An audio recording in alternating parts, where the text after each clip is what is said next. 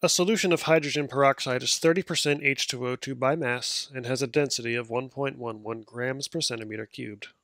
Calculate the molarity of the solution. We'll start this problem by reminding ourselves what molarity is. Henceforth referred to as capital M. It's N, which is specifically the moles. N in general means moles, but in the molarity formula, N refers to moles of solute, okay? Moles of solute, the thing that you put in to the solution. In this case, hydrogen peroxide, H2O2. Divided by V, but in this case specifically it means the volume of this whole solution, okay, not just the solute nor the solvent part, but rather the whole solution, and it must be in liters. Okay, moles of H2O2, volume of solution in liter, clearly is the two unknowns that we're interested in finding here. We simply divide them and we have the molarity. It would be pretty simple, I think, to find the moles of H2O2 first.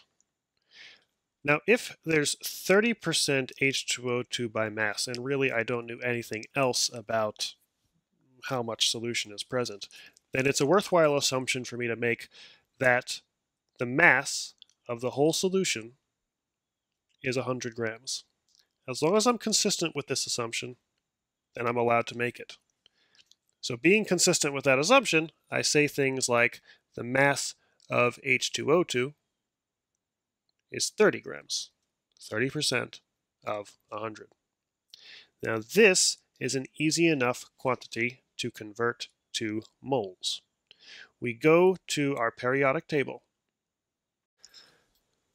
I remind you that by considering what H2O2 is made out of, hydrogen and oxygen, and that hydrogen is 1.008 grams in every mole, and oxygen is 15.999 grams in every mole, then a molecule that contains two hydrogens and two oxygens, such as H2O2, will contain 34.014 grams in every mole.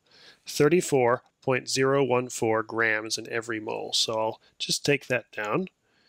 The molar mass of H2O2,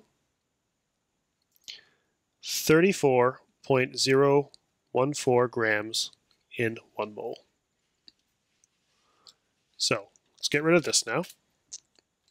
And let's take this 30 grams and let's convert it to moles. We say that 30 grams times the conversion factor that says there are 34.014 grams in one mole arranged so that the grams cancel out. Now 30 divided by 34.014 has us at 0.882 moles of H2O2. So N H2O2 is equal to this. And that answers half of the question.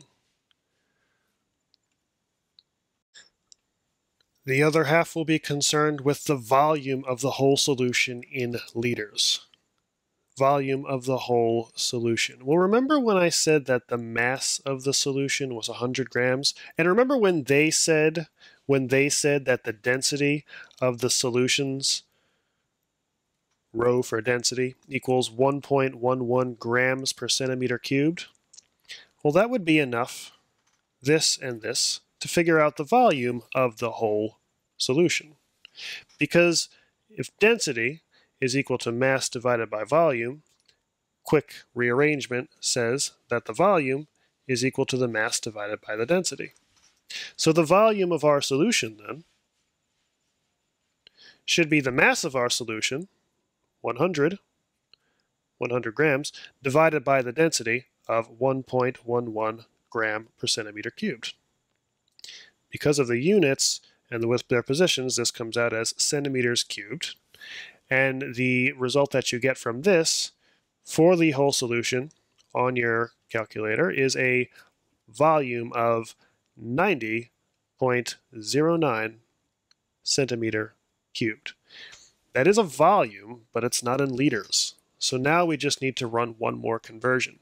We kind of want to know that one liter is equal to a thousand centimeter cubed.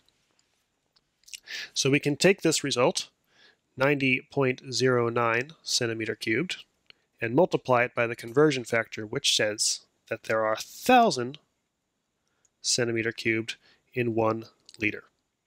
This allows us to cancel off the centimeter cubed and conclude that in liters, our solution has a volume of just about 0.090, two, three significant figures. All right, that is the other half of the problem, and we are just about done.